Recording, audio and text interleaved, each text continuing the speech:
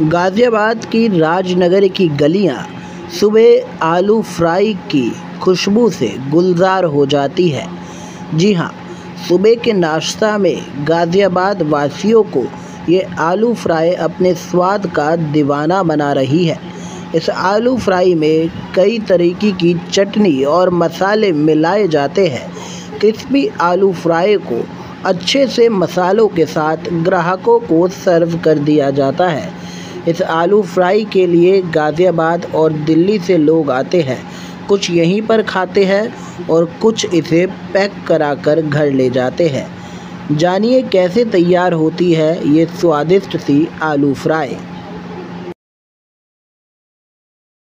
आप भी सड़क किनारे चाट मसाला खाना पसंद करते होंगे और स्वाद के अलग अलग जायकों को आप चखते होंगे।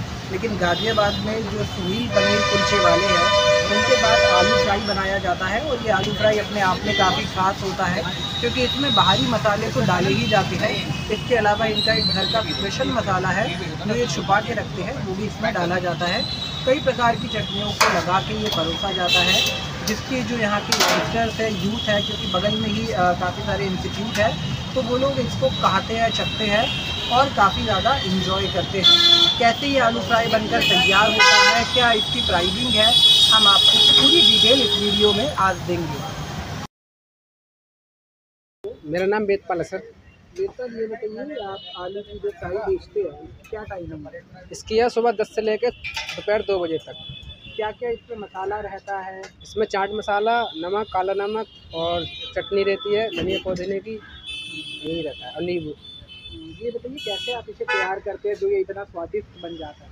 इसको आलू को उबालते हैं फिर रिफाइंड में फ्राई करके जब देते हैं करारे करके कब से आप लोग बेच रहे हैं? हमें हो गई करीब दो हज़ार दो सौ लगा रहे हैं। हम्म। ये बताइए यहाँ पर काफ़ी लोग इसके दीवाने हैं लोगों की भीड़ उमड़ती है खाने के लिए। क्या कहते हैं लोग? बस लोगों का प्यार है सर उनको अच्छा लगता है तब आते हैं खाने। हम्म। तो ये आपका स्पेशल मसाला घरेलू मसाला हाँ ये हमारा सेवेट मसाला होता है। हम्म, उसमें क्या क्या शामिल होता है? वो बड़े भैया बनाते हैं ये तो मैं नहीं बता सकता। घर पे बनता है? घर पे बनाते हैं। और बताइए कैसे आलू फ्राई को तैयार करते हैं सजाते कैसे इसे? इसे सही तरह से आलू फ्राई करके उसमें प्लेट में लगा के सजा के देते हैं। बढ़िया करके कितने रुपए की प्लेट आती है? प्लेट पचास रुपये की प्लेट होती और हाफ़? हाफ़ नहीं होती एक ही रेट है पचास।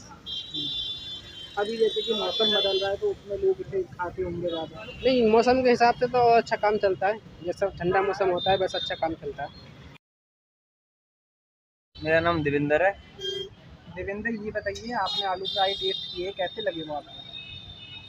आलू फ्राई तो और जगह भी खा रखे हैं कई बारी पर इनके जो थे ये पता नहीं मुझे अलग से क्यों लगे सॉफ्ट थे काफ़ी अंदर से काफ़ी सॉफ्ट थे और बाहर से थोड़े से क्रंची थे पता नहीं क्या इन्होंने मिलाया था मुझे नहीं पता पर काफ़ी अच्छा था तो ऐसा लग नहीं रहा था कि खाने के बाद ये कि आलू ही है क्योंकि ये चटनी वगैरह भी कुछ अलग से मिला के देते हैं तो मुझे बड़ा अच्छा लगा मतलब।